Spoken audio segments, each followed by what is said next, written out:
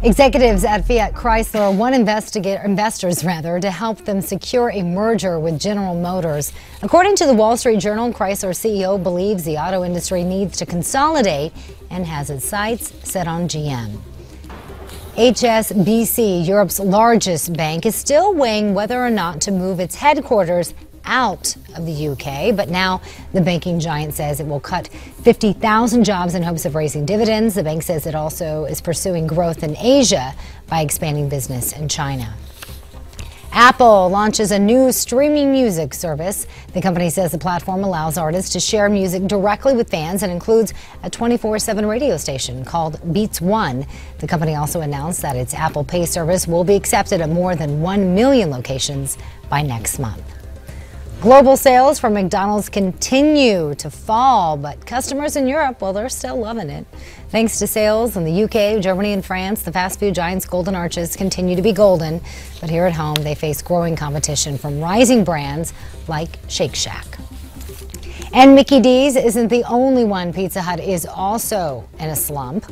According to Business Insider, the company's attempt to reach millennials has failed. In fact, Greg Creed, CEO of the parent company Yum Brand, says Pizza Hut is focusing too much on millennials. Can't trust those millennials. Thanks, Miranda, joining us right now to talk about the restaurant industry and finances as a whole is senior financial editor at moneynews.com, Tom Hutchinson. Tom, always good to talk to you. Great to be here, John. All right, let's take a look at McDonald's. The fast food industry, of course, has been going through some changes, and it hasn't worked out very well for McDonald's investors. Just hearing today also that former White House Press Secretary Robert Gibbs is going to join McDonald's as a progressive burger company. Some late developments. We can talk about that in a little bit. But American taste buds have been changing. The dining experience in this country has been changing. Can McDonald's keep up?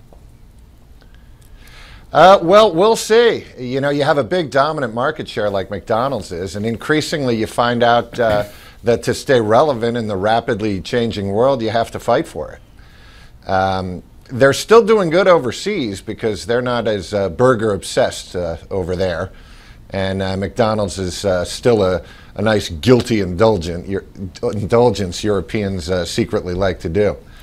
Uh, but McDonald's has an advantage uh, that some of its competition doesn't have, and that's uh, breakfast. Hmm. And uh, there's a lot of things they can tweak, and uh, I, I think still be uh, still be right in there again. Yeah, we know that other restaurant chains like Taco Bell, in addition to selling alcohol, they're getting into the breakfast market. That seems to be a, a very competitive place here. But also, when you look at McDonald's, they're facing this issue, taking a lot of heat from their employees on the minimum wage issue. Uh, and again, mentioning that Robert Gibbs is joining that company uh, under the auspices of being a quote, progressive burger company or something like that. How does McDonald's deal with this minimum wage issue? Because that eventually could probably impact the consumers, right? Yeah, it sure could. I mean, they can tweak things around a little bit. Uh, worst case scenario, raise costs a little bit. Um, it's a nagging issue, but I, think the bigger issue is how can they adjust their American business to the fact that their food's pretty unhealthy and perceived as so. All right. Well, uh, let's talk they, about they, they get that options. one right. Let's talk about some other options out there because we look at McDonald's. On the other hand, though, you have places like Shake Shack, based in New York City, but expanding throughout the country, and Chipotle, which just about every right, everywhere right now. They seem to be doing a little bit better. Uh, and I also hear a lot of investors buzzing about Shake Shack, especially. No question about it. Shake Shack has been phenomenal. They've they, they've been the latest to capture the American burger imagination, uh, which is vast. And they have a good tasting burger, great name. Uh, Chipotle is tough too. They've offered really a whole nother regular meal choice. You know, they've uh, made Mexican mainstream and easy.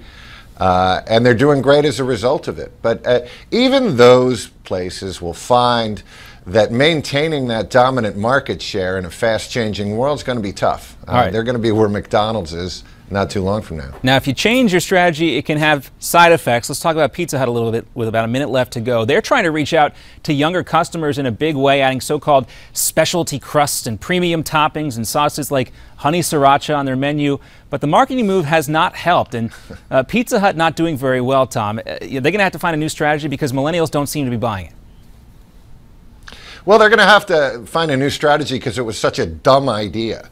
Uh, you know, let's put healthy stuff on top of pizza. You know, let's put healthy stuff on top of a uh, ice cream sundae.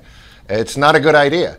Uh, and you know, appealing to millennials, uh, it, it's kind of tough because they're really uh, fickle. More than right? anything else, they're chameleons. Yeah. You know, you can do what they like right now, and they change their taste in three years. Yeah, you know, you- they reflect their times. Tough chasing millennials around these days. Hard to keep up. Tom, thanks as always. Good to see you.